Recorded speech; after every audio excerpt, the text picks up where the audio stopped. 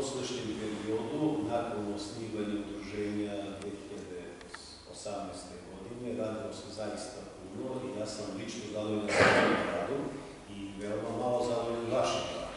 Ali otprilike da ja vam to kažem, a vi posle kažete meni zašto sam ja tako rekao.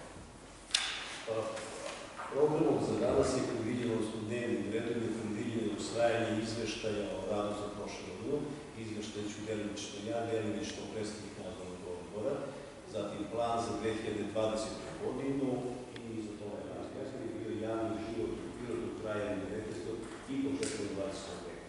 Osvrnut ćemo se te događaje, ali potom potom. Najpre da se svašta da dnevni red u prvu tačku usvajanje radimo sa nekim velikim novcima, ne organizujemo nešto da idemo negdje da putimo i tako dalje. A čućete posle da se plan za ovu godinu bitno menio odnosno na to.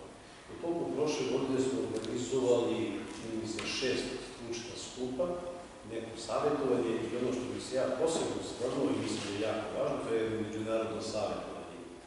U maju mesecu smo organizovali sa međunarodno savjetovanje, gde smo goste iz Makedonije, Crne Gore, Bosne i Hercegovine. Sa njima smo obrađivali temu bezbednosti i zdravlja na radu. Naziv savjeta je zaštiti jednu rečenicu o tome.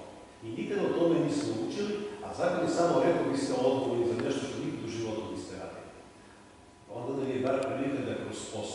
dodatno obučimo, dodatno dobijemo informaciju o tome šta je potrebno i da iza toga možemo i da nosimo ono što je meni žao, nisam umio da ubedim ljudi da dođu na stručni skup, da se upoznaju sa tim novim saznanjima. Da li su vezani za materijal, smo govorili o sika membrana, ili se govori o nekim bojama, ili se govori o svetlikama uh, virusa. Svijedno, imali smo priliku da čujemo nešto što je zanimljivo. Ja, nažalost, nisam umio da ovih 300 ljudi u Pirotu koji su inženjeri, nisam umeo ovih stotina građanskih inženjera ih ubedi da treba da uči, da treba da radi, da treba da znaju.